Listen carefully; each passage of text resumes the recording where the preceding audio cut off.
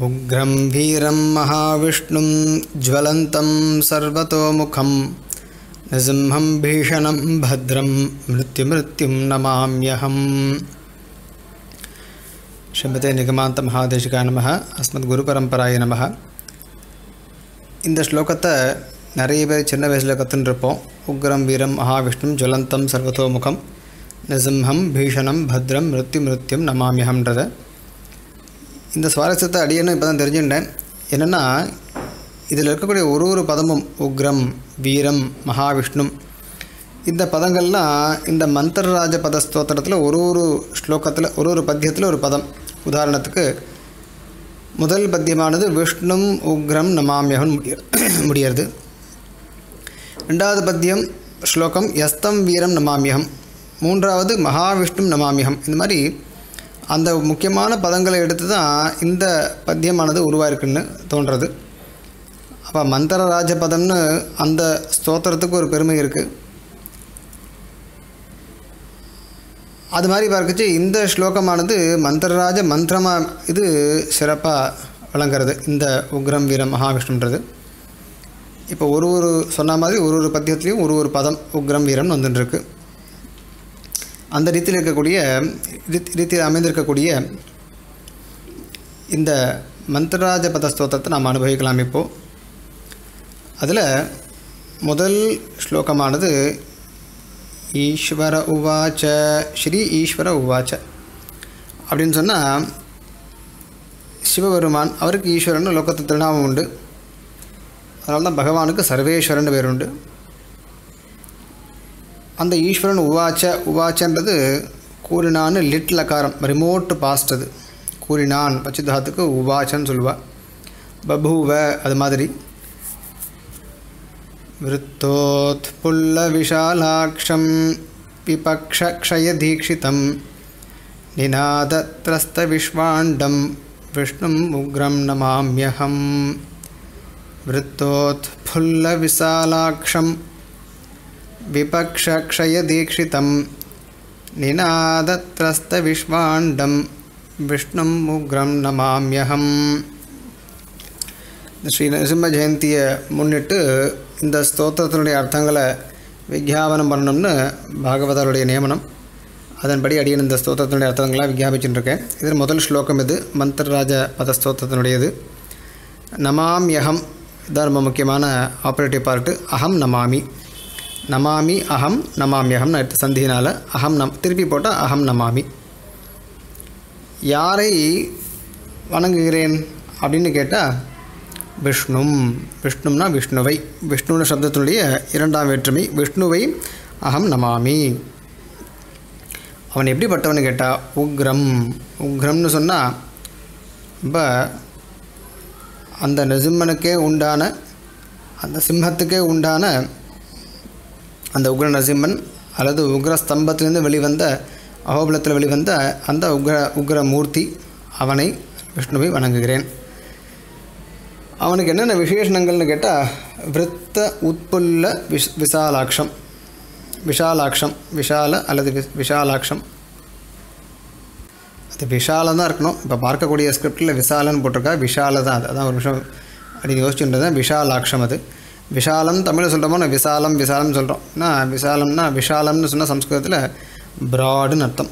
அக்ஷம்னா கண் அப்போ விஷாலாட்சம் சொன்னால் அண்ணா அகண்ட கண்களை உடைய. உட்புல்ல உட்புல்லன்னு சொன்னால் நல்லா பிளாசம்டாக இருக்கக்கூடிய தாமரை பூ வச்சுக்கலாம்.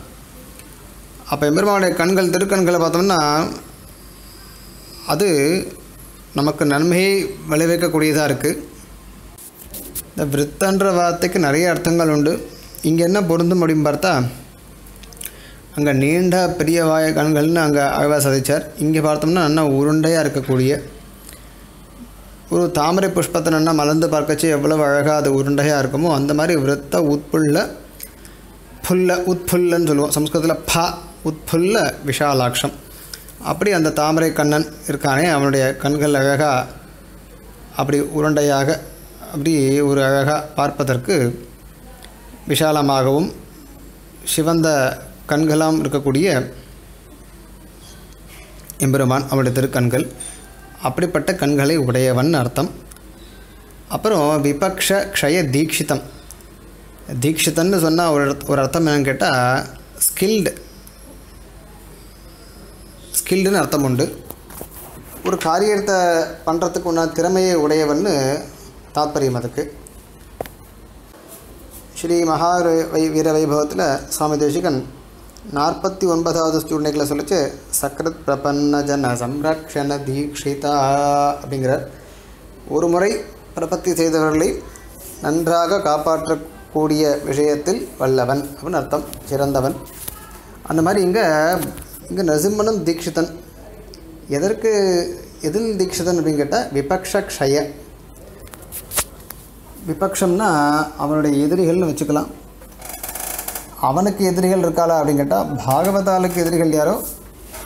அவள் தான் அவனுக்கும் எதிரி. க்ஷயம்னா அவளுடைய நாசம். அதான் பிரணதார்த்தி ஹரன்னும் பகவானுக்கு பெயர் உண்டு பிரணத்த ஆர்த்தி ஹரன் அப்படி பாகவதாலுடைய விபக்ஷமாக பாகவதாலுக்கு விபக்ஷமாக இருக்கக்கூடியவளுடைய க்ஷயத்துக்கு அந்த க்ஷயத்தை ஏற்படுத்துறதுல தீட்சிதனாக இருக்கக்கூடியவனை. தீட்சிதா தீட்சிதம்னா இரண்டாம் வேற்றுமை தீட்சிதனை. விஷாலாட்சம் சொன்னால் அதுவும் இரண்டாம் வேற்றுமை. அழகிய வட்டமான மலர்ந்த தாமரை போன்ற கண்களை உடையவனின் தாற்பயம் அதற்கடுத்து நினாத திரஸ்த விஸ்வாண்டம்னு போட்டுட்டார் இவன் ஆவிர்பவிக்கச்சே ஒரு அப்படிப்பட்ட ஒரு சப்தம். அந்த சப்தமானது மூ உலகத்துக்கும் பரவி ஒரு பேரச்சத்தை உருவாக்கியதுன்னு அர்த்தம். இது கீதையில் சொல்லச்சு பீஷ்மர் என்ன பண்ணுறான்னு கேட்டால் தஸ்ய சஞ்சனயன் ஹர்ஷம் குரு விருத்த பிதாமக சிம்ஹநாதம் வினத்யோச்சைஹி சங்கம் தத்மௌ பிரதாபவான். பன்னெண்டாவது ஸ்லோகம் முதல் சர்க்கத்தில்.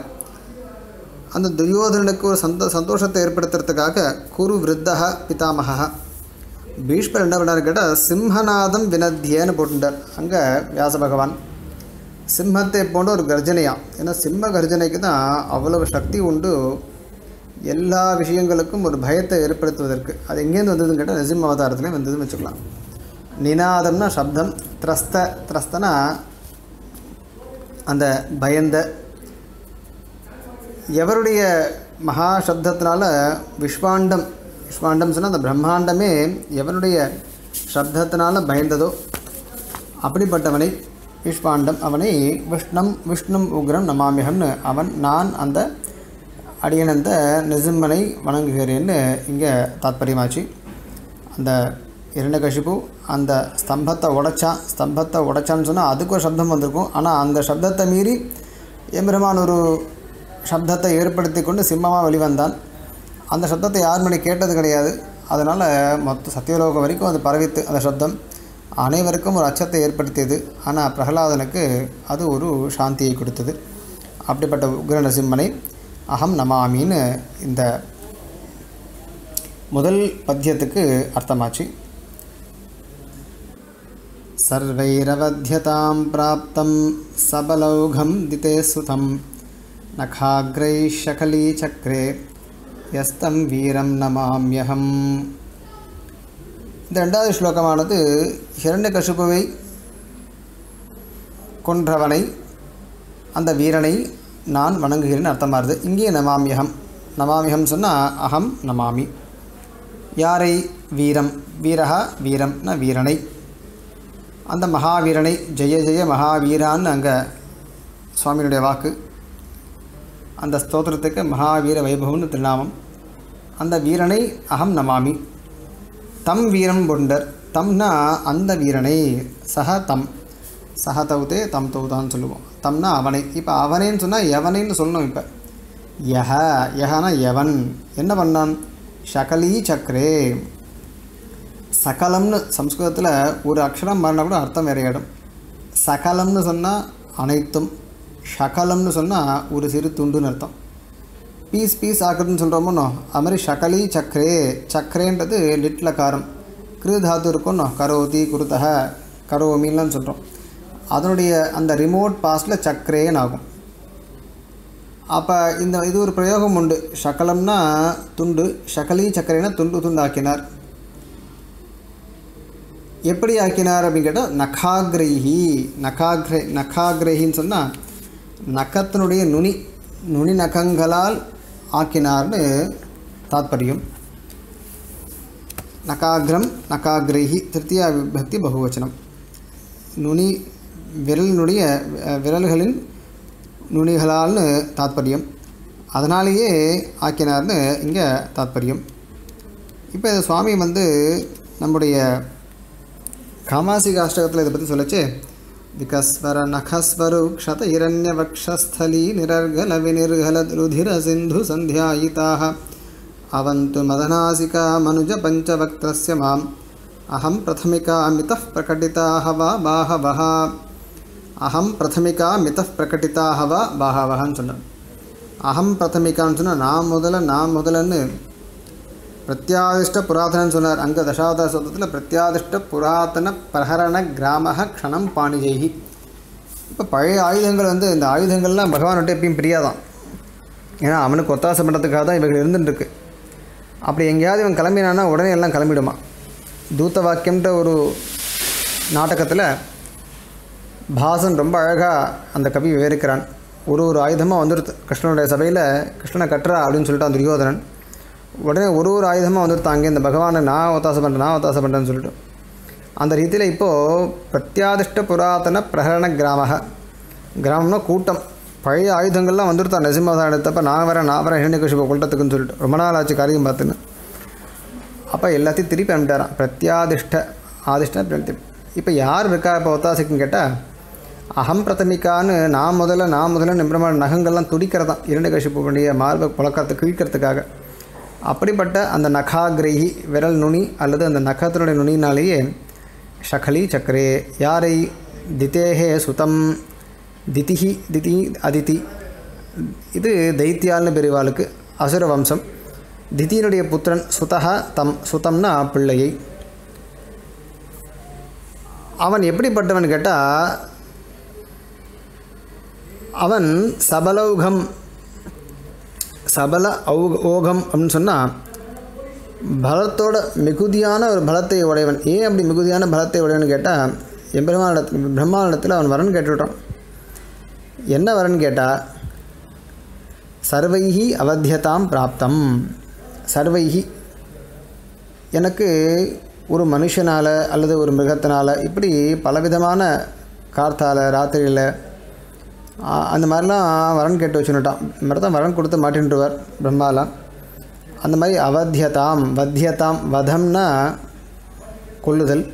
வத்தியதாம்னா கொல்லப்படக்கூடிய தன்மை. அவத்தியதாம்னா அது கிடையாது. அப்போ கொல்லப்படாத தன்மை. யாராலும் கேட்டால் சர்வைகின்னு போட்டுட்டார் இதனால் இல்லை அதனால் இல்லைன்னு சொல்லி தேவர்களால் இல்லை.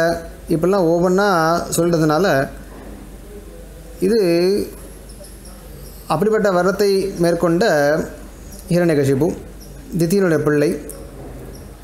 அதனாலேயே சபல அவ் ஓகம்னு போட்டுட்டார் ஓகம்னு சொன்னால் அந்த இடத்துல அவ்வளவு அளவுக்கு மீறின ஒரு பலம் பலத்தோடு கூடியவன். பலோகம் ச பலோகம் அப்படிப்பட்ட ஒரு அபரிமிதமான பலத்தோடு கூடியவன்.